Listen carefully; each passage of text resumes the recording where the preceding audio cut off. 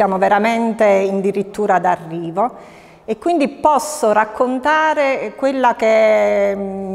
quello che sarà questo percorso enogastronomico, questa festa popolare come ci piace definirla. Ci saranno al taglio del nastro i gruppi di cittadini di San Rufo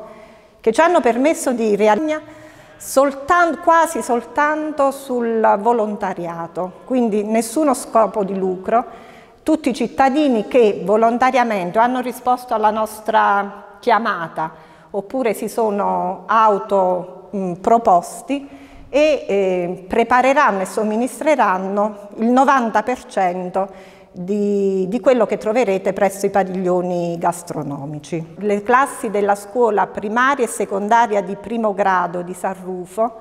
eh, con uh, il valido aiuto delle insegnanti e delle docenti e con il benestare della dirigente scolastica eh, contribuiranno a rendere più bella ehm, la nostra festa della castagna. La novità di quest'anno è un laboratorio per la produzione della pasta artigianale, anche questo si regge sulla eh, l'offerta volontaria delle signore che lavoreranno la farina con l'acqua fino ad ottenere il risultato finale, la pasta. Il visitatore abbiamo capito che non si accontenta più solo di assaggiare il prodotto tipico, vuole guardare dietro le quinte, vuole capire quello che mangia, come è stato fatto, da chi è stato fatto. La castagna, che definiamo il frutto tipico eh, delle nostre zone, poi in effetti un frutto atipico, perché è un frutto che contiene, assomiglia molto di più ad un cereale, quindi si presta tantissimo alle preparazioni gastronomiche ed ecco perché è diventato ed è stato nel passato una fonte di, di alimentazione non indifferente per i nostri antenati.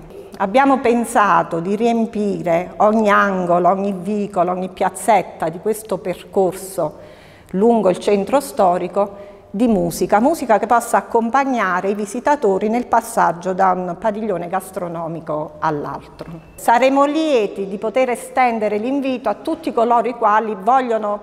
passare una serata all'insegna del divertimento, dell'allegria, gustare cibi di alta qualità, ci tengo a sottolineare questo, bere del buon vino, sentire della musica e dedicarsi ad un momento di convivialità che per noi è un punto fermo del, di tutti i nostri progetti.